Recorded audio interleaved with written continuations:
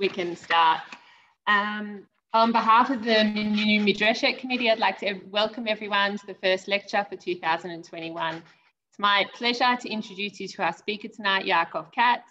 I met Yaakov many years ago at my sister and brother-in-law's home in Jerusalem, and I've been following his writings in the Jerusalem Post and on Twitter.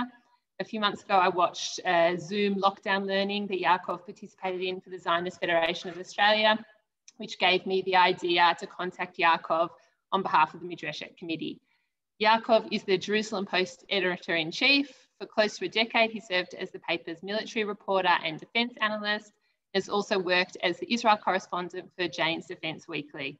He was a lecturer at Harvard University, where he taught an advanced course in journalism. Prior to taking up the role as editor-in-chief, Yaakov served for two years as a senior policy advisor to Israel's Minister of Economy and Minister of Diaspora Affairs.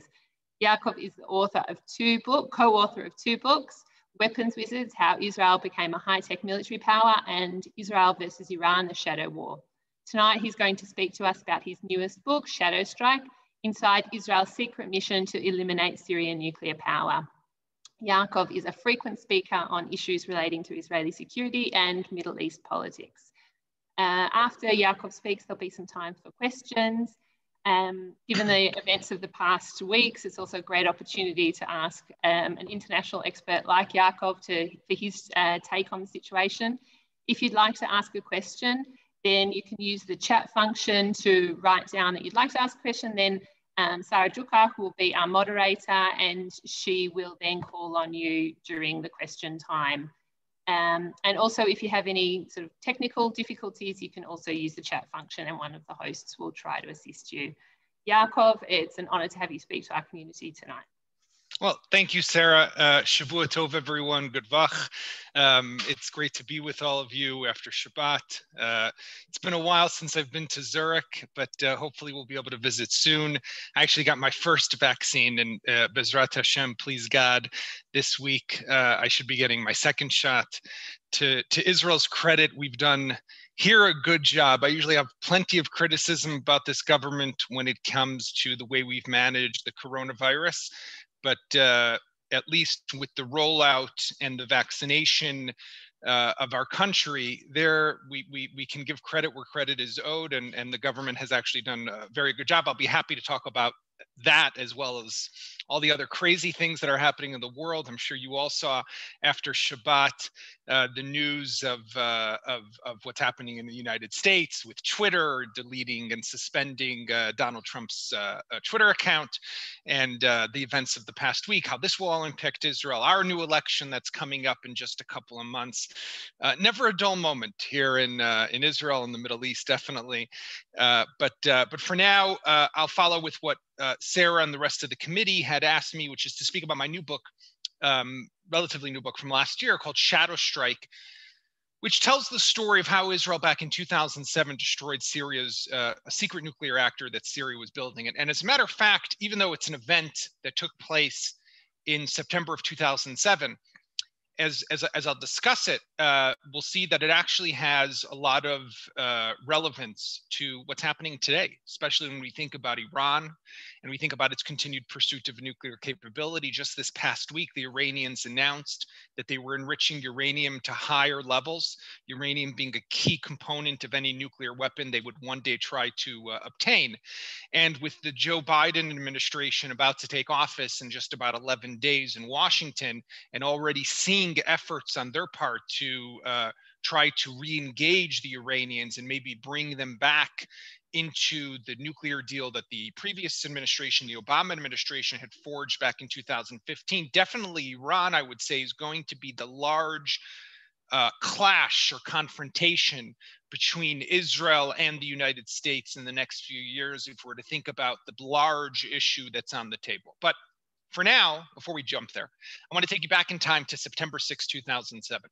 At the time, I was a, a, military reporter for the Jerusalem Post, which basically my job meant covering the IDF, the Israel Defense Forces, operations, uh, terrorist attacks that sadly occasionally do happen still in this country. Uh, just today, there was an attack uh, that was actually, thankfully, a soldier was only light, lightly wounded, but um, that was my day job And on September 6, 2007, I was invited together with the rest of military reporters. Every newspaper, every radio station, every TV uh, channel and website has a at least one or two reporters whose beat is to cover the IDF in military affairs.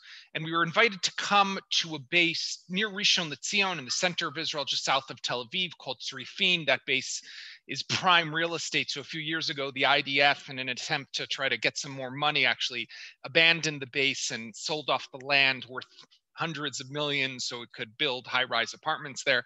Uh, but then it was a big training base. And we were invited for a briefing with the uh, head, the chief IDF medical corps officer, who, as a matter of fact, his name is Professor Chezi Levy.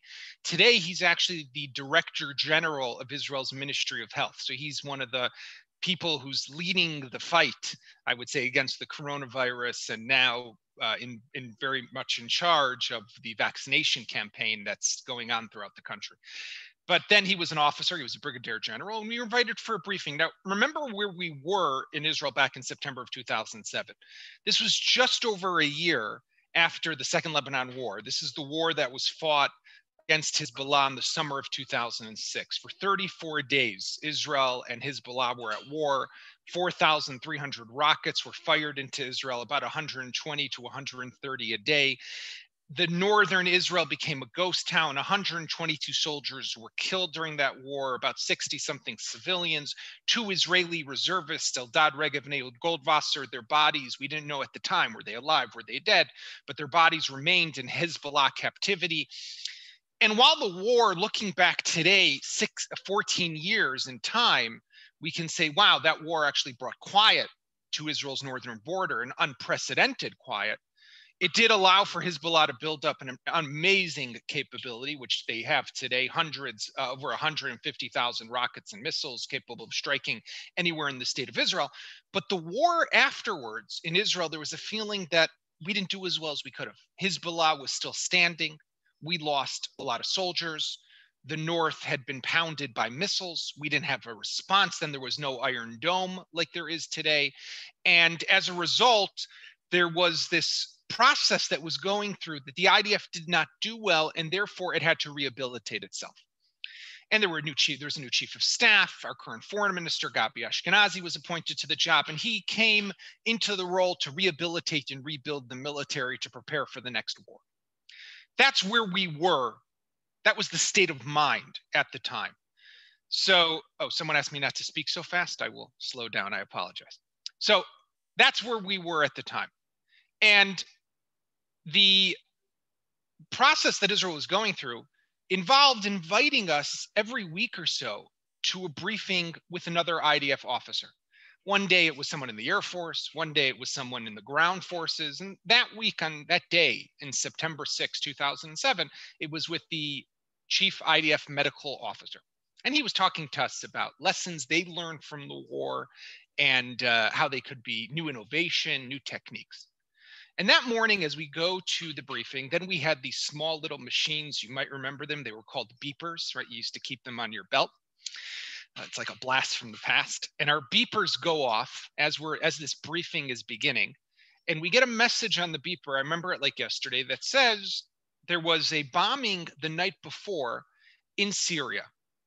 And it was based on a Syrian news agency report that Israeli warplanes had infiltrated somewhere in the northeast of Syria, had dropped their bombs on an empty warehouse, and had been chased away by Syrian air defense missile systems. Now, this was strange because today we think about an Israeli bombing of Syria and we say to ourselves, well, that happens all the time, right? Just this past week, there were reports of two or three Israeli bombings in Syria. Israel, over the last few years, has attacked Syria, Iranian targets in Syria, hundreds, if not maybe already a thousand times in the last few years to prevent Iran from building up uh, military bases in Syria, similar to what it has with Hezbollah in Lebanon. But back in 2007, these kind of things never happened. And I remember we were sitting across from Chezi Levy, and one of us said to him, you know, General Levy, what was this? He said, nah, it was probably nothing, nothing important. I wouldn't, you know, uh, give it any thought. And we went on with our briefing. We had no clue what it was. Later did I discover he had no clue what it was. But as reports began to come out over the over the months that followed, it became clear that this was something huge, monumental, and an incredible story about Israeli intelligence, Israeli political courage, and Israeli military might. And the story never really got told in a way, but from that moment in time, it fascinated me. It fascinated me because of the little information that came out that there was a nuclear reactor being built in Syria, that Israel had bombed it, that no one knew about it, the generals in the IDF didn't even know about it. How did this happen? And as I began to look into it a few years ago, I discovered that it's actually a story very much like the raid on Entebbe when Israeli commandos from Sayeret Matkal flew to Entebbe, Uganda to rescue those Air France hostages in 1976. It was a story the likes of the bombing of the Osirak reactor that Saddam Hussein was building in Iraq back in 1981, or even the way the Six Day War opened back in 1967 when the Israeli Air Force, in one day, in less than a day, was able to take out the entire Egyptian and Syrian air forces. To tell you the story, I want to take you back a little more in time to the spring of 2007. At the time, there was a feeling in Israel, in the military intelligence circles, that something nuclear was happening in Syria, but no one could put their finger on it. Now, remember, the country is still focused on rebuilding itself after this war in Lebanon. We don't know if another war will erupt. We have the Iranian nuclear threat. No one's thinking about Syria. This is pre so called Arab Spring. This is pre 2011 when the civil war broke out across the region in Egypt, in Tunisia, in Libya, and then, of course, also in Syria. But there were signs that something was going on. Now, Israel knew that Syria had a nuclear program.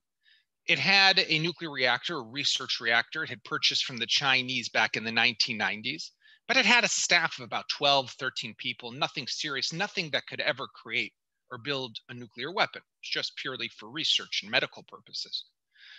But they felt that something strange was happening, but they couldn't put their finger on it. I later saw documents that were analyzing this inside military intelligence. And one of them even had a picture of Assad at the top, an arrow going down to a Pakistani flag, and another arrow going down to a North Korean flag, and then a big question mark in the middle. And the question was Is there something nuclear going on? And if so, is it with Pakistan? Is it with North Korea? They couldn't figure out what was happening. But they received word that Syria's top nuclear scientist, the head of the Syrian Atomic Energy Commission, now remember, very small, so it sounds big, but a very small commission. This was, in, his name was Ibrahim Othman, was flying to Vienna. And the head of military intelligence in Israel went to the head of the Mossad, a man by the name of Meir Dagan. You may have heard of him. He passed away a few years ago. And asked Dagan, the head of the Mossad, that's our you know, equivalent of our CIA, our, our intelligence agency that works overseas, to send a couple of agents fly. He, Ibrahim Othman was going to a country not far from you in Austria. He was going to Vienna, and he was going to be attending meetings at the IAEA, the International Atomic Energy Agency, right, the United Nations nuclear watchdog, which is based in Vienna. And the general asked Dagan if he could send a couple of agents to see what Othman was doing, maybe get into his hotel room, peek inside his briefcase, download something from his computer. And uh, Dagan was a bit hesitant because he said, This is not interesting to us. There's nothing to worry about Syria. We have our hands full with Iran and, and Hezbollah, Hamas, Islamic Jihad, uh, Al Qaeda at the time right? We, we don't need to be worrying about Bashar al Assad and Syria. But in the end, he gave in. Now, this wasn't the first time, by the way, that Mossad agents had followed uh, Ibrahim Othman around the world. Few, a couple of times they had done the same thing, and they always came back empty handed. But they decided to send a couple of Mossad agents, and they flew to Vienna and uh, actually, that day they presented the operation to our prime minister at the time, Ehud Olmert. And they even on his in his office in Jerusalem, they posted a map of Vienna and the streets, and they put like little kind of circles where the where the cars would come from, where the getaway car would be, where the agents would set up. But it was an operation that wasn't something extremely complicated. As a matter of fact, that same day in another country in Europe, there was another Mossad operation that was taking place, which was deemed to be much more important, much more strategic. And this was kind of like we'll do this you know, on the way type of thing. So the agents go there and uh, they go into, they manage to go into his hotel room. And Othman, for the first time, had made a, a critical strategic mistake, unlike in past times when uh, Israel had tried to track track him and and see what he was up to. He left his laptop computer in his hotel room, and they attached a flash drive. And they downloaded the contents of everything that was on his computer. Now, to give you again, just just illustrates how unimportant this was perceived by Israel. They uh, when the agents returned to Israel, they brought the flash drive, the Mossad agents brought the flash drive and they gave it to the uh, soldiers in the IDF. And they didn't even uh, de-encrypt it. They didn't even uh, look to see what was on it. For two weeks, this flash drive sat on a shelf inside an IDF headquarters. And then after two weeks, people are like, one second, whatever happened to that stuff we got on that raid that we did in Vienna? And they said, oh, wait, wait, we have the flash drive. So they start to look through the flash drive and they're floored, floored. They're shocked. On this flash drive, they discover pictures, photos of a nuclear reactor under construction in northeastern Syria. They have the core of the reactor, the fuel rods of the reactor, the, the, the, structure, the actual building of the reactor. But the kicker was this photo where you saw Ibrahim Othman, the head of the Nuclear uh, Atomic Energy Commission of Syria, posing for a photo in front of the building together with a guy, an Asian man. And he was wearing this blue kind of Adidas tracksuit, you know, like a running, you know, suit that people wear. And they were looking at this guy and like, what is this Asian guy doing in Syria? So they look through their databases to see who this guy is, and they discover that this man who's standing for posing for this photo with Ibrahim Othman, his name is actually Chon Chibu, and he is the director of the Yongbyon nuclear complex in North Korea. So not only was Bashar al-Assad building a nuclear reactor in Syria, he was doing so together with the with, with, with a country that is possibly the greatest threat to the United States and to parts of, uh, of Asia and the Far East, right? North Korea. So right away, this story became something completely different. And, and it just goes to show how Israel had so little expectation that anything would come of it, that it did not believe that it would discover anything, but ultimately discover something that is about to become possibly one of the greatest existential threats to the state of Israel. Remember, in Iraq, Iraq's far away when they were building a nuclear reactor back in 1981, and Israel destroyed it. Iran is also potentially one day an existential threat with the nuclear reactor they were building. That's also still far away. Syria is literally our backyard. It's just over the border. This isn't 2,000 kilometers away. This is maybe 500, 600 kilometers away. And, and this reactor is being built, and Israel did not know anything about it. So not only is this a massive intelligence failure of sorts, but it's also a question of what do we do? Because the reactor is on its way to becoming uh, active and to becoming uh, hot, as they would say. And the decision was taken very early on that to be able to destroy it, if they were going to use military action, they would have to do so in the coming months. Because the moment that this nuclear reactor becomes active, the reactor was sitting very close to the Euphrates River, which is a massive river that runs from Syria across Iraq all the way through into Asia if they were to uh, bomb it after it had already become active or hot in that term, it could spread radioactive material into the Euphrates River and Israel would be contaminated for generations. Israel would be potentially responsible for horrific things that could happen to people who live along the Euphrates River in Syria as well as in Iraq. And therefore, Israel's the clock was ticking and it was ticking fast. Now, what makes this story interesting, and I don't want to tell the whole book from you know A to Z because that'll take forever. But it shows us really, you know, we, we hear so often about the Israeli-US alliance in particular, right? And how Israel and America have this strategic alliance, how they work together. But very rarely do we get to see exactly what that means, right? How does it work from behind the scenes? And I felt that here, what, what was so unique about the story was that unlike in 1981 when Israel destroyed Iraq's reactor. Then Menachem Begin was the prime minister. Menachem Begin did not tell anyone in the United States that this is what Israel was doing. He did not share that information with anybody, and Israel did it secretly. And it ultimately was condemned, if you recall, by the United States. Ronald Reagan, who was then the president, suspended the delivery of fighter jets to Israel and actually let a UN Security Council resolution against Israel pass at the United Nations, right? Did not veto it because they were so upset with Israel for taking that unilateral action against Iraq at the time. But this time, Ehud Olmert, who was the prime minister, and we could talk a bit about him later, obviously a very complicated character. You, you all remember that he eventually went to Israel, went to a jail, right? Uh, brought shame to the state of Israel, was, was charged and convicted in court and sat in jail for about two plus years. But here he decided to go to uh, the United States and to share this information with George W. Bush. By the way, when they when they encrypted, just to give you a sense of this complex reality that we live in, when when the Mossad and the IDF intelligence finally uh, went through and analyzed these photos, Dagan calls up Olmert, the head of the Mossad, calls the prime minister and says, "I need to meet with you urgently." Now Olmert was heading down south because there were rockets being fired from Gaza into Israel. So he said, I can only meet with you later in the day. I got to go down south first. So he goes down south because Hamas is a big threat. Then he comes back to his office in Jerusalem.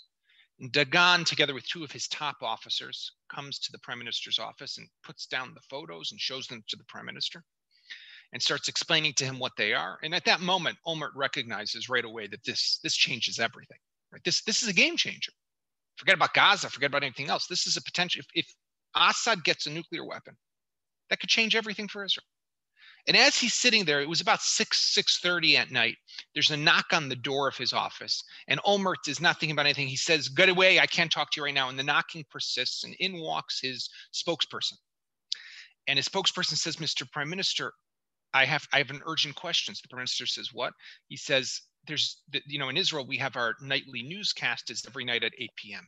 So he said, it's an hour and a half from now he says one of the big TV news channels is going to be running a story of another criminal investigation that's being opened against you, right? So as Olmert is looking at this intelligence, right, that is changes everything for the state of Israel, he gets this. He gets he. There's going to be a, a newscast that's about to talk about another criminal investigation against him. I mean, it's it's it's just you think about what these people have to deal with. I mean, this is complicated stuff but anyhow, it, it, it's the, the story has with it, it has this amazing intelligence.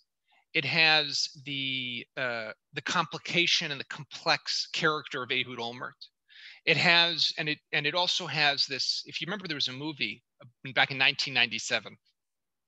I don't know if you recall, called Wag the Dog. I don't know what I mean. That's what it was called in English, but it it it, it had Robert De Niro and Dustin Hoffman, and it was about uh, a president who got, I think he, he had some scandal, right? Maybe it was a sex scandal. I can't remember at the time right now, but he had some scandal. And uh, to kind of divert attention, distract the public, they made up a fake war, right, with Albania or something like that. Uh, Israel did a, a, made its own wag the dog because now imagine, remember where I told you we are. We're just a year after the Second Lebanon War, a bad war.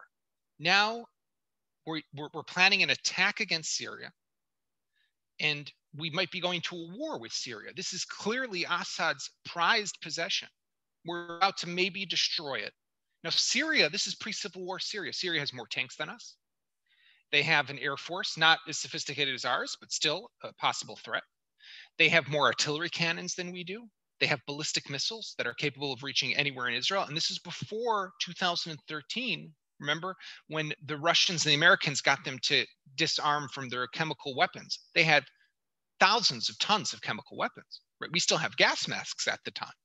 Now, this is a formidable opponent. This isn't Hezbollah. We didn't do so well against Hezbollah. Now we might be going to a war with Syria. How do you get the military ready for a war when you can't tell them why they're getting ready for a war with Syria? Because very early on, they made a, decision. They discovered that not many people in Syria know about this nuclear reactor, that Assad was keeping it very quiet. So they figured that there's potential that if they do bomb it, Assad, because no one really knows about it, would prefer to keep it quiet. But it was a gamble. Maybe he would attack. And therefore, you have to find some way to prepare for a war without telling anyone why you're preparing for a war. That's complicated too. So it was almost like it's Israel's own wag the dog moment. So you have this amazing intelligence, this subterfuge that you have to do to be able to prepare for a war, but really this unprecedented look into the way the US Israel alliance works. And I want to talk for a moment about that. You know, we hear all the time about choose your adjective, how this bond is unbreakable, unshakable, impenetrable. But rarely have I felt throughout 20 something years now in journalism is that how it really works and how it works from behind the scenes. We know that Israel gets 3.8 billion dollars in aid and you know the Iron Dome and the Arrow missile and, and David's Sling, but we don't get to know really what goes on behind closed doors. And and and and I was privileged and during the during, during the work on this book was really to get access to almost everyone except for the president himself. Uh, I couldn't George W. Bush did not want to talk to me. I tried many different ways to get to him, but I was able to make, meet with Vice President Dick Cheney a couple of times and to speak to him a number of times, as well as really everyone else. And, and what happened was when Israel came to the White House and brought this intelligence back in April of 2007, remember, Israel bombed in September. So that's five months, five months during which America made its own preparations and made its own considerations. And Ehud and George W. Bush, who was the who was the president at the time, seriously considered his options and thought about attacking. Olmert called up Bush and said to him, "You need to attack." Now, for Olmert, the reason was was was twofold. The first was if America attacks, the chance that Syria would retaliate against Israel significantly drops to some extent, right? Because it wasn't necessary, it wasn't Israel that did the attack. On the other hand, it was also the more important issue that he was thinking about was Iran. Iran was always in the back of his mind. If Israel attacked Syria, Olmert knew, Iranians would say, okay, that's expected. But if the United States attacks Syria, the Iranians, it would shake them. They would realize that this is not the uh, this is not what they had expected. And if America was willing to attack Syria, it could also potentially one day attack uh, Iran. And therefore, the Iranians might reconsider their own strategy and their own pursuit of a nuclear capability. But I want to fast forward to uh, September 6th, and that's the day that Israel attacks. And on just after midnight, Israel sends a few fighter jets, F-16s. They fly into, they fly from the Mediterranean. They go up north. They cut across the border near Turkey and Syria, and they fly in and then they dip into Syria. They bomb the reactor. Just to give you a sense, uh, about a year ago, my wife and I, pr- before COVID, when we could go to events, my wife and I were invited to an event at the U.S. ambassador to Israel, David Friedman's uh, residence in Herzliya, and uh, we're uh, we're we're standing at the food at the the buffet getting some food and we meet some US Air Force pilots uh, who fly F-35s. So those advanced fighter jets that uh, Israel also has. And we've actually been using them for a while now. They're operational. And they were had come here to do some joint exercises with Israel. And I was talking to them. I told them my name and they said, oh, we actually read your book. Uh, it just after it had come out. And uh, they said, you know, we've studied that operation. Now, even though the, the flight, and even though it was close to Israel, it wasn't far, so it wasn't like, you know, extremely complicated. And we know that Israel nowadays attacks in Syria uh, quite often. But to give you a sense of just the, the, the operational uh, sophistication, Ehud Barak, the former prime minister, was at the time the defense minister, and he lived at a, on a high-rise apartment building overlooking the Ayalon freeway. That's that highway that cuts through the middle of Tel Aviv. And after the morning of the attack, he goes, he spends a few hours in the bunker to see what would happen. And then when things were quiet, he goes home and he goes out to his mirpeset, to his balcony, drinking an, an espresso. And he looks down, he lives on the 23rd, I think, or 24th floor, and he realizes that the pilots had flown the whole way to Syria at a lower altitude than the, the, the balcony that he was standing on. So while it wasn't far from us, they flew so low to avoid radar detection. That that that that was just incredible. And these U.S. Air Force pilots who I met just last year were explaining to me that that was like incredible to them. How did they do that? How were they able to fly so low through territory they didn't necessarily know? But you know, thankfully, we have an amazing, amazing uh, Air Force. So Israel attacks Syria, and uh, it uh, Olmert had found out previously that George W. Bush would be in uh, Sarah's uh, former country, uh, Australia at the time, and would be uh, uh, attending a meeting of APEC, which was the Asian Pacific Economic Cooperation. Now, George W. Bush already in July had told Olmert that he had decided not to attack.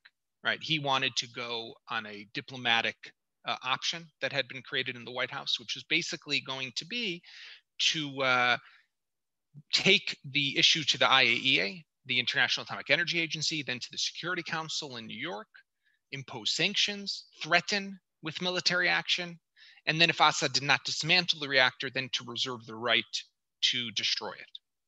Israel said right away, this is unacceptable. On that phone call, took place on a Friday between Bush and Olmert. Olmert said right away, this is unacceptable. And uh, I remember I spoke with uh, two other two members of George Bush's staff who were on the call with the president and the prime minister. And they were sure that Olmert, with his chutzpah, to say to the president of the United States, this is unacceptable, I won't accept this, that Bush would be upset. Actually, when Bush put down the phone receiver, he said, you know what, I like this guy. He's got, you know, he's got guts. And and and and that kind of talks to maybe a bit about Bush and and his, you know, he's a Texan and, and his character itself. But uh Olmert decided then that if America was going to attack it, Israel eventually wouldn't. That's how we found ourselves in September. So Israel bombs the reactor, waits a few hours, the strike goes okay, and waits to see what Assad will do. And they quickly learned that Assad had basically been woken up in the middle of the night, was told what had happened, and pretty much went back to sleep. There was a war was not breaking out that night. So Olmert decided that it was time to get Bush on the phone and to update him what was happening. He was again, as I mentioned, he was in Australia. So uh, his office calls the White House. The White House calls George Bush in Australia until they get him on the phone. It's already early in the morning here in Israel, which is the middle of the day in, in Australia. And uh, Olmert gets on the phone. I want to read you the transcript from their conversation. He said, Mr. President, how are you? Olmert asked. So Bush says, fine. How are you enjoying Australia? Olmert continued. It's a great country, Sydney. It's very nice, great weather. So Bush says yes. And then Olmert could already tell that he's getting a little agitated, like the president's thinking, why is the Israeli prime minister calling me in Australia to talk about the weather? Uh, so Olmert says to him, by the way, Mr. President, Olmert was, was careful because, again, as I mentioned, Israel took this gamble that if it stays quiet, doesn't say anything, that maybe Assad will let the whole thing slide and there won't be retaliation. So Olmert wanted to be careful, even though he was on the call with the president. So he says, Mr. President, do you remember there was something in the North that we didn't like? And the president says, yes. So Olmert says, well, I just wanted to let you know that it does not exist anymore. So Bush was also himself careful on the call. He said, Oh, that's very interesting. Do you expect, he asked, a response or have a feeling about a response? Olmert said, No.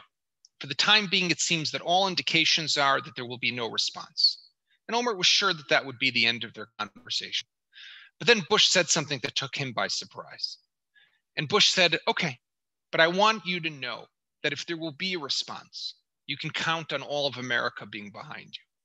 And I mention this because, yes, it's just one conversation. It's one conversation of countless that takes place between presidents and Israeli prime ministers. Right? We can imagine for a moment what some of those conversations between Donald Trump and Benjamin Netanyahu look like. But uh, but you look at what's said. You look at what Bush tells Olmert. You look at how they speak to one another. When a president says something like this after an Israeli prime minister just took a huge gamble did something that could potentially take his country not to the brink of war to an actual war uh, you you you you you are giving him a sense of confidence that he has done something right that it, it is it's incredible. And it really shows and it showcases i think what this relationship and what makes it unique and and, and why it's important the the israel uh, us alliance. But i think there's also lessons here in this story that are important for us to look at today. The first is we learn about statesmanship, right? Olmert, as I mentioned, he was a complicated character. He brought shame to Israel. He went to jail for receiving a bribe. He's remembered as the prime minister who failed in the war of 2006. But in this story, and I can't judge him overall, but I can judge him in this one story. What we saw here was a completely different Olmert. He was facing calls to resign because of the outcome of the war in Lebanon. He was facing police investigations. He had not yet been indicted, but he was under investigation. He and he had a U.S. president who said to him, "Ehud, I got your back, man. I'll take care of it. You don't have to attack. I'll, I'm taking it to the UN. I'm taking it to the IAEA. He had all the reasons in the world to follow what the Americans were saying, but he said no. He stood up. He understood his place in history, like Menachem Begin in 1981. He understood that he couldn't deposit the fate of the Jewish state in anyone. He couldn't allow Syria to obtain nuclear weapons. And would other politicians act the same way? I don't know. And that's a good question, but it's a question we should always be asking ourselves. The other thing that's very important is that when while this book takes place in 2007, which seems like a long time ago, it has amazing relevance today. Israel continues to grapple with the nuclear Iran. It continues to think about what is the best option. How will it stop the Iranian pursuit of nuclear capability, which, if they were to one day get their hands on a nuclear weapon, would pose an existential threat to the continued existence of the Jewish state of Israel here in this land. And, and, and what will it do? And is does a military option still exist? And how can it be used? And I think what we have here is a potential blueprint for what can be done one day and how it can be used and how Israel could potentially one day do what it did in Iraq and in Syria against the Iranians. But there's also North Korea. And you learn a lesson here in humility. North Korea in the end of 2006 tested its first nuclear device, a nuclear bomb. George W. Bush was the president. He gave a speech. It was October of 2006. He gave a speech in the White House and he said, if we catch them, this is terrible. It's unacceptable. We won't let this continue. But he said, if we catch them proliferating nuclear technology, transferring nuclear technology to other places, then they will pay a price. Well, half a year later, Israel comes to the White House and shows intelligence of how North Korea is not just proliferating nuclear technology to anyone, they're building a nuclear reactor for one of the greatest rogue states in the world, Syria. But America did nothing. North Korea paid no price. As a matter of fact, George Bush under pressure from his Secretary of State at the time, Condoleezza Rice, in 2008, decided to remove North Korea from the list of state sponsors of terrorism that the State Department in the United States keeps. They were trying to, if you remember, there was something called the Six Party Talks at the time. They were trying to engage and negotiate with North Korea. Well, that didn't work when Donald Trump came back to office, came into office in 2017, he returned North Korea to that list. But even his efforts to engage with, with Kim Jong un, they, they all failed, right? The, the, the, the North Korea still today has a larger arsenal and poses and continues to pose a grave threat to the United States as well as to Japan, South Korea, and elsewhere throughout the world. Now, could they have been stopped back then? I don't know. But it goes to show what happens when you let a country get away with something of this scale. They don't learn, they learned a bad lesson back then. And it was a lesson that went to show that they can do something that, that obviously without paying a price, and they'll continue. So I think that these are all important issues that have wide ranging impact for Israel, the Middle East, and beyond. But the book is not, I, I don't want it to be just about who was right and who was wrong. The US had legitimate concerns of why a strike against Syria would not be a good idea for them. And Israel felt an urgency that the US simply didn't. I mean, remember, geographically, we're here, they're there, right? So you're always going to have that difference. But I think in this book, and with this I'll end, we have an example of what makes Israel unique, right? We're a very complicated country. You all know that. We're a complicated people. We can be difficult, but we're also threatened like no one else. But we do take the role, which is of the preservation of the Jewish people very seriously and actually ended the book with a quote from Hillel Hazaken, from the Hillel the Elder, from Pirkei Avot, right, from the Ethics of Our Fathers. What he said 2,000 years ago, Ena nidli mili.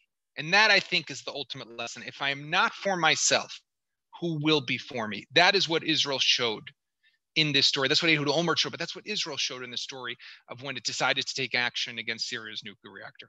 Thank you very much. And I'm happy to take questions on this, on anything else. Shoot. Thank you very much. I think we have not yet received any specific requests for questions, but please um, either let me unmute yourself or um, ask your questions. I see that Dudi seems to have a question already. So Dudi, off you go, please. Hi, and thank you very much. It was um, very, very interesting. Um, so basically, what I think it's very um, uh, surprising is that it seems that it's kind of a bit of a coincidence uh, how everything happens. And maybe I would be wondering if you have any, um, if you can say something about any consequences this uh, episode has for Israeli intelligence, maybe in the future. I don't know, either to pay more attention or to uh, kind of be able to focus more on things like that. Yeah, no, it's a great question. It's an important question, right? Israel, like like what like we mentioned, and you again reiterated, was caught off guard, did not know that this was happening literally in its backyard, right? This isn't some country thousands of miles away. This is just over the border. We share a massive border with Syria, and Syria. Remember this before the civil war in Syria and its military pretty much disintegrated. Syria was the last conventional military that Israel still potentially had to consider fighting a war with. With Egypt, we had peace. With Jordan, we had peace. Uh, Hamas was not a conventional military. Hezbollah is not a conventional military. We don't share a border with Iraq or Iran, but with Syria we do. And and they still at that time had a very large military, and that was the country that we were always thinking about. Like if there ever was going to be a big battle, but we missed this and as a matter of fact, there were there was an investigation. It was led uh, even by the Knesset's Foreign Affairs and Defense Committee. It's uh, in Hebrew Vadat Chutz Bitachon of the Knesset, of Israel's parliament, and they looked into uh, what had maybe gone wrong here in the intelligence. And I think it was a lesson in humility. It was a lesson that uh, we don't always know what's happening, right? And intelligence is always going to be a very complicated uh, game of sorts, right? You only know what you know uh, but you have to keep your eyes open and you have to be aware. And I think that with Iran, if we apply that lesson to what's happening in Iran, the, the concern that I've heard over the years, for example, from Israeli intelligence officers, is that, excuse me, you know, we know about, for example, Natanz, which is their main uh, enrichment facility for uranium. That's where there was uh, that explosion over the summer and that facility above ground. But the main facility is actually below ground in a bunker. We know about Qom, which is another enrichment facility. We know about some other other, but there's always been this concern in Israel. What about what we don't know? Maybe there's something that we don't necessarily know. And I think Israel has very good intelligence about Iran, but there's always the possibility that they're doing something that we don't know about. And and and I think that that's what makes this such a such a huge challenge. And uh, and and it was a lesson in humility. We can hope it's been applied. I think today we don't have to worry necessarily about Syria. They have major problems. The problem with Syria today is the uh, is the Iranian entrenchment, right? Iran is trying to build up a base of operations in Syria, has to some extent succeeded.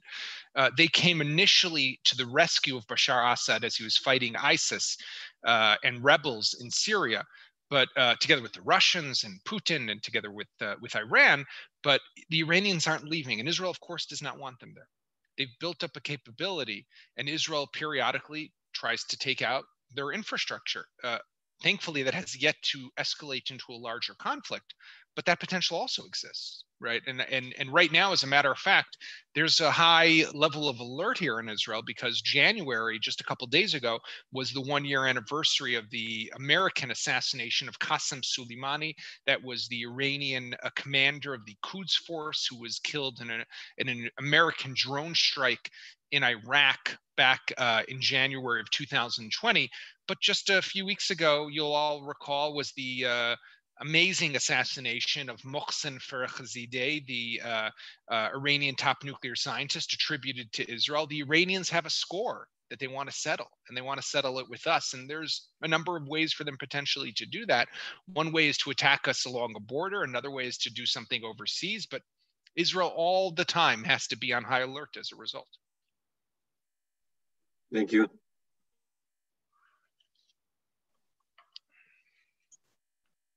Maybe when uh, going back to your um, explanations on the strategic alliance between US and Israel, do you want to maybe um, tell us a little bit how you see it nowadays. Like how was it in the past administration, this um, strategic alliance, and what are your hopes or um, yeah ideas for the future with the new president coming in?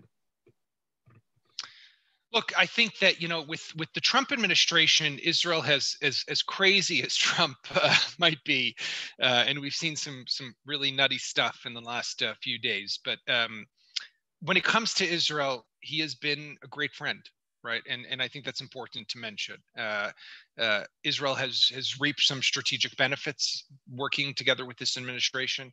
We've seen the recognition of Jerusalem, the moving of the uh, embassy to Jerusalem, the recognition of Israeli sovereignty over the Golan Heights, the uh, the pullout withdrawal from the Iranian nuclear deal, the uh, normalization deals, the Abraham Accords with the UAE. I was in, I, I traveled to Dubai uh, uh, just uh, less than a month ago for the first time. Um, I mean, th- these are incredible things, right? So we, we, we can actually, I think it's important to acknowledge that alongside some of these really bad things that, that, that seem to be happening in the United States right now. But uh, during this period, Israeli and US military relations have really reached new levels, uh, uh, pretty incredible. Even during the Obama years, it's important to mention that while there was a lot of tension on a political diplomatic relationship between President Obama and Prime Minister Netanyahu, on a military to military level, there was great great, great cooperation and especially intelligence sharing. And you'll remember that shortly before Obama ended his term in office in, uh, in January of 2006 and 17, he uh, signed a new MOU with Israel, uh, memorandum of understanding, a deal that basically upped and increased the military aid to Israel from 3.3 billion dollars annually to 3.8 billion dollars annually. That's that's a lot of money to be giving Israel every year. So. Uh, so I, th- things are still very good in that place, and um, you know I think that when when we look, by the way, I've heard this from a number of officers in Israel, especially in the Mossad, is that after the Lebanon War, right? So it was, uh, like I said to, like I said earlier, it was a, it was a process of rehabilitation for Israel, but it also we looked bad in the eyes of the world. The world thought of Israel as this mighty military, as this amazing, incredible, sophisticated, high tech army, and we couldn't destroy Hezbollah. What had happened to us? And there was a there was a loss of respect on between from militaries, from intelligence agencies, and then comes this discovery of a nuclear reactor in Syria. The world knew nothing about. America didn't know. No one knew, and we discovered it, and that created a newfound respect among America for within America for Israel. And, and that led to additional operations with the CIA and the Mossad and other things. And I think that when you look back at the at the relationship, you can actually even find that the origins of this close relationship that we have now, some of that started actually, it, it kind of became, it reinvigorated itself it, it, in, in this story of the Syrian nuclear reactor. Thank you. We have another question from Cedric. I will try to unmute you, Cedric, so you can ask the question yourself, please. Good. Thank you very much. Good to see you. Um, Hi, Cedric. Hi. uh, quick question just about like the, the fourth election that is coming up now and a little bit of like maybe you can share a little bit of the sentiment that is going on in Israel. I mean, like from the outside, I can only see what's going on Times of Israel and Jerusalem Post and you name it. But um, maybe you can tell a little bit like what, what is the word on the street and um, how are people perceiving now Bibi in this twifold between you know like the vaccine and all of the deals with the Arab countries countries, and on the other side, um, yeah, like the the court cases that he has coming up. Well, I mean, it's a good question. P- people are fed up, obviously, with elections. Uh, no one, no one is happy about the fact that we're going to a fourth election. Uh, I don't think that Bibi himself is happy with this situation, and he's not doing too well. When you look at the polling numbers, he does not currently have a path to form a government. What he does potentially have is the ability to deny anyone else the ability to form a government, which leads me to predict today on January 9th, so don't hold me to it, that the fourth election is only the gateway to a fifth election, uh, if, if nothing really changes, which, which is just terrible. It's terrible for Israel.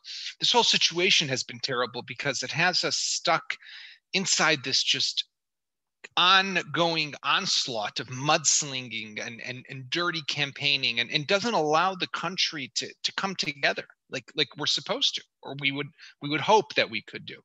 Um, and so so that you know th- that's just the, the overall i would say just the bad environment. In in general though his campaign is definitely like you mentioned very much focused on vaccines right? This is this is what he's running on. Tonight he got his second dose right? Three weeks ago saturday he was the first israeli to be vaccinated.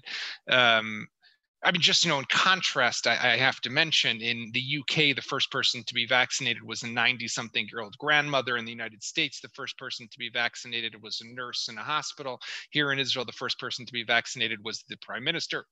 You know, everything is of course political, but uh, today he got his second vaccine. Every day he talks about the vaccines every week he goes and visits vaccination centers uh, this is this is the this is his campaign and his campaign is basically uh, his hope is that by we already have about 1.5 i think 1.7 million people sorry who have already been vaccinated.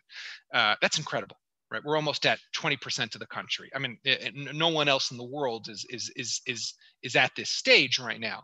Uh, and think uh, you know it has a lot to do it's not Bibi that's managed to vaccinate all of us.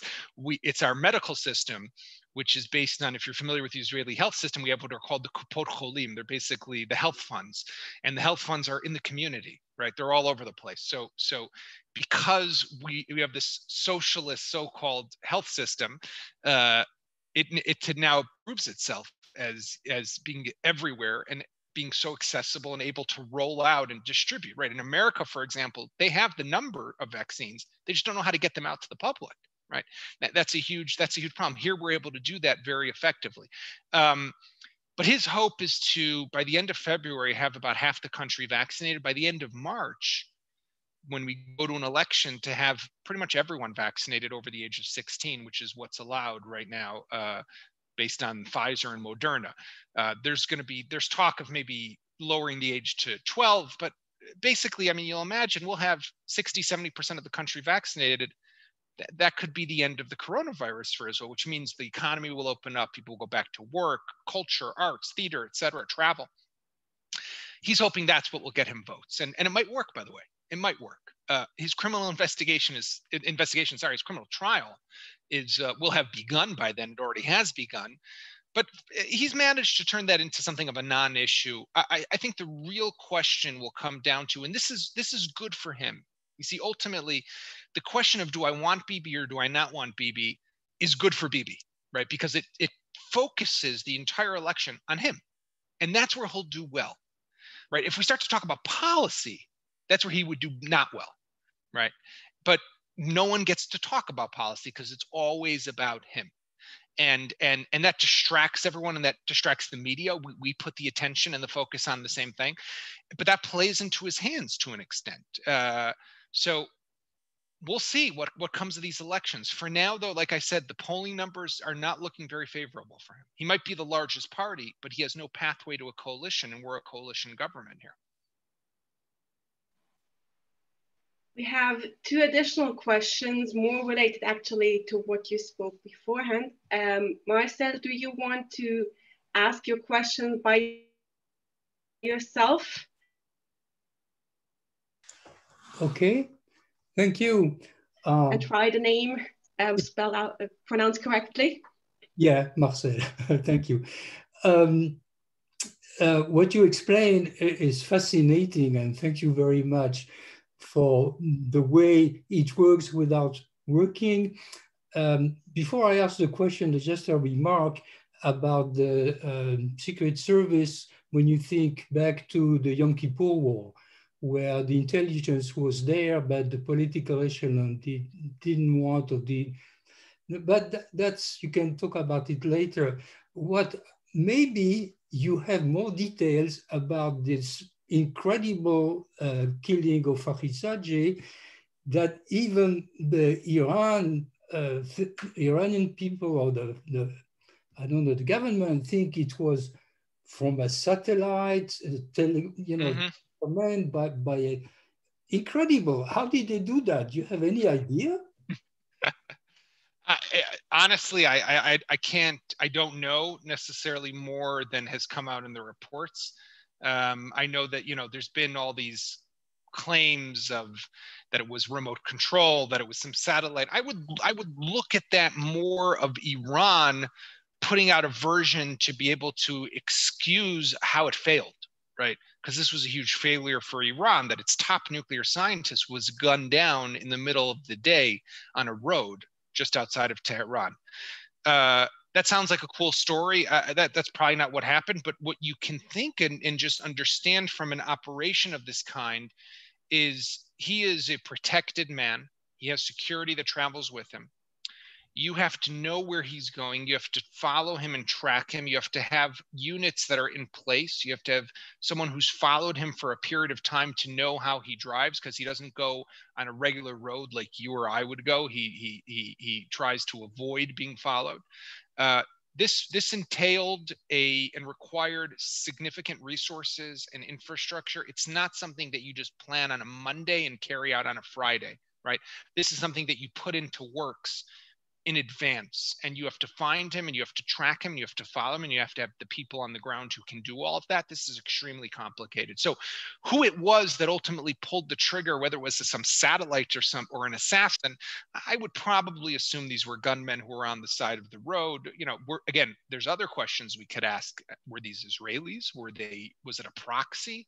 Uh, does is it israel that actually carries this out or does it use some other organization, maybe local Iranian dissidents who, who work on its behalf. I mean, Israel has proven over the last couple of years an amazing penetration of Iran, right? You remember all last summer the series of bombings that took place in in nuclear facilities and power plants and in other in military bases.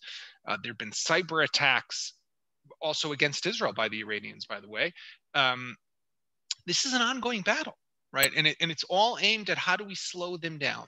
Now, taking getting Fakhrizadeh out of the way is going to maybe be a, a, a bump in the road for the Iranians, but we should not live in an illusion and believe that this will stop their nuclear program right? I mean, they have dozens of facilities, they have dozens, if not hundreds, of technicians and scientists. They have the technical data. They're not at the stage anymore of where they're dependent on one single individual. This will harm and, and, and make it more difficult, maybe, but they can keep going right and and and the iranian issue needs a larger resolution whether it's a diplomatic solution of a, of a deal that will be hopefully a better deal right? That will not be like the deal that was reached in 2015, or some sort of military operation that stops the Iranians. Uh, I pray and hope that we don't reach the stage of a military operation because that will be extremely complicated. Uh, we will probably have losses of our own in such an operation, uh, and it could lead to a big war. Right? This is what Hezbollah has been built for. Let's not forget, as as as a sword to swing over our head and try to, to deter us from attacking Iran. So we have to hope that there's a diplomatic resolution, but again, we can't count on that, and we always have to be prepared. Thank you. Mm. Michelle and Howard, do you want to follow up just on this topic? Sure. Good evening, Shavua Tov Thank you very much for a wonderful talk. Thank you. Um, we have 10 days uh, of the Trump administration left, we think, we assume. And then President Biden takes over. Um, uh, the last few days obviously have been very unstable, uh, and we don't know what President Trump is going to do. Uh, do you think there is uh, scope for something to happen over the next 10 days, either by the United States directly or uh, by Israel with cover, both political and military, from the United States um, in terms of attacking Iran? I, I, would be very surprised if in the next 10 days Donald Trump were to decide to take military action against uh, Iran. Now, again, this president is the most unpredictable of presidents, right? Uh, but I, I, can't see how maybe he would want this necessarily to be his legacy. I mean, maybe there's an argument to be made that he would want to distract attention away from what happened at the U.S. Capitol last week or this past week, uh, just a couple days ago. I, I, I don't know, but again, there's no real urgency right now to do that against the Iranians. They're, they haven't, yes, they're enriching uranium to higher levels. 20% is still not military grade. It's not at a 90% level. So we're not at the stage that we have to feel that within a matter of just weeks or months, they're going to have enriched uranium to be able to build a nuclear weapon, right? They're not yet at that stage. If that were to happen, that would change everything, right? Uh, so I, I, also, that's, by the way, I think the reason that Israel hasn't attacked until now is there hasn't been the feeling that we have that legitimacy yet. They're not yet building a bomb. They're creating all of the, putting all the pieces in place but they're not yet building the bomb. And therefore, Israel has also decided to hold back. If that were to happen, though, I think things would move at a much faster pace and Israel would be pushed to take action. I don't think that Israel can live with an Iran that has a nuclear weapon, right? It would it would not only potentially give them, you know, I wrote tomorrow's tomorrow the, tomorrow's papers editorial about uh, what happened in the United States with Twitter and them deciding to suspend uh, Donald Trump's account. But I said, what about Khamenei's account? the, the supreme leader of Iran, Ayatollah Ali Khamenei, openly writes on Twitter that Israel is a cancerous growth that needs to be removed, calls for jihad and attacks against Israel. That's not the glorification of violence. That is not incitement into violence. And I'm not here to defend Trump. Uh, he should be suspended too. That's fine. But you can't you can't apply your laws this way and then not this way. This guy should also. I mean, they are the greatest state sponsor of terrorism, and they're building a capability that one day would give them the ability to do what they say they openly want to do, which is to destroy the state of Israel, right? So uh, we we can't let them have that. But they would also uh, it would embolden their proxies, Hezbollah, Islamic Jihad, uh, the Houthis in Yemen and other places. It would give them more strength to be able to spread their hegemony throughout the region and to undermine the moderate Sunni regimes of the United Arab Emirates, of Saudi Arabia, of Oman, of Bahrain, and other countries. Uh, and it could also set off a nuclear arms race. Other countries could say, if the Iranians have nuclear weapons, we have to get nuclear weapons. Then you'd have the Middle East, which is already such a volatile region, turn into a nuclear nightmare right? So this is something that Israel can just not allow, the world cannot allow to happen, definitely not Israel.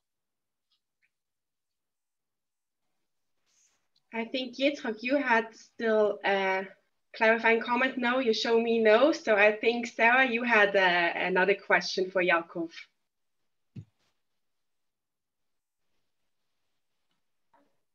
Um, Yaakov, I read a piece that you wrote this week saying, sort of, you know, after watching terrible sort of situation, what happened, uh, the Capitol building um, this week, that something that happened like that could also happen in Israel.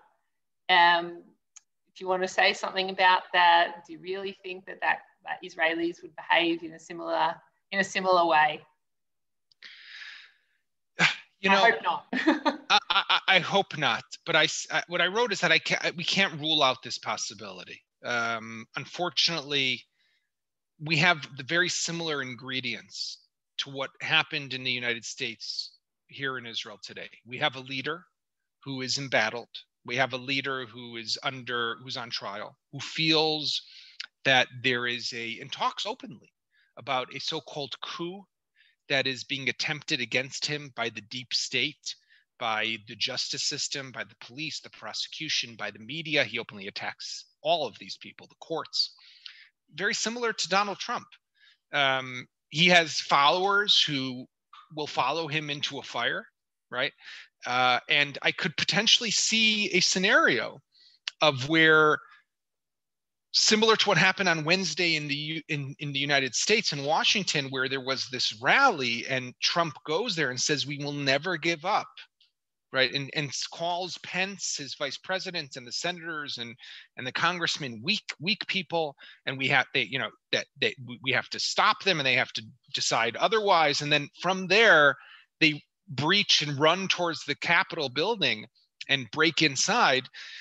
I mean unfortunately i see that this could happen. We we, we have we ourselves in israel have a leader who for the last few years ever since his criminal investigations have begun does not hesitate to attack our democratic institutions. Now, whether he's right or wrong, we have to think about the state that needs to remain here afterwards, right? We have a country that has to survive us all. We have a future that we have to worry about. Now, there could be major judicial reforms that are required in Israel. I, I, think that some are, as a matter of fact, the way we select our judges, some of the decisions that are taken. But you can't make those reforms while you yourself are under investigation or on trial. This is the way the system works. And when you constantly and consistently, systematically are attacking and weakening and undermining our democratic institutions, for example, the, the Israel police has not had a police chief for about two and a half years. Why? Because the prime minister doesn't want them to have a police chief. He wants to keep the police weak. The, the, the, the justice ministry has not had a state attorney, the head prosecutor in this country for over a year. The same reason. Now, this is not good for Israeli democracy. And this also, unfortunately, could lead to something similar. I hope it doesn't. I want to think that we are better than this but I don't think that we can be naive. I've heard this talk before that we're better, and then we slip, and we we can also find ourselves. We we Israelis would have told you before November 1994 that we would never assassinate our leader, and then an Israeli, a Jewish Israeli, took a gun on November 4th, 1994, and shot and killed uh, Yitzhak Rabin. I'm sorry, 1995. So these things can happen, right? And and we have to be careful, and that's why we have to speak up now to make sure and be vigilant that, the, that these types of things won't happen here in Israel.